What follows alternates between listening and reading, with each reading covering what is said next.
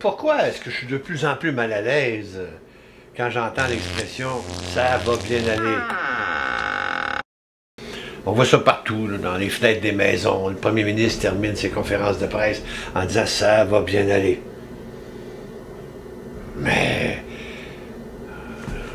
dans d'autres articles du journal, on voit que ça va pas bien. Montréal est la cinquième ville au monde la plus contaminée, que la gestion de la crise au Québec est la pire au Canada. Ah, le premier ministre, il dit non, c'est. C'est à cause que nous autres, on a de bonnes statistiques, puis les autres, on, ils comptent pas toutes. Nous autres, on compte toutes, on est honnête. Ça va bien aller, monsieur le premier ministre, mais j'ai comme l'impression que vous faites dans la fake news, dans la, dans la vérité alternative. Peut-être, peut-être que je me trompe, peut-être que je comprends rien, là. C'est possible, là. Bon. Ça va bien aller, ça va bien aller.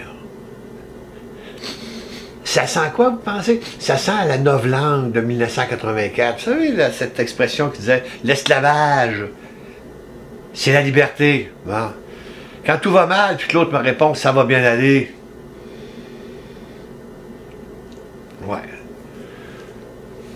La pandémie, ça va bien aller. C'est de la novlangue, mes amis, je vous le dis tout de suite. C'est l'impression que ça me fait. C'est de la novlangue. Et comme dit Denise Bombardier, peut-être que quand lui dit ça va bien aller, M. Legault, peut-être qu'il pense aux résultats de ces élections là, qui vont venir un jour. Ça va bien aller. En tout cas, je vais prendre mon petit café. Euh, Après ça, euh, on va avoir le moral. Ça va, bien- aller après le café. Ah, je suis ça va bien aller.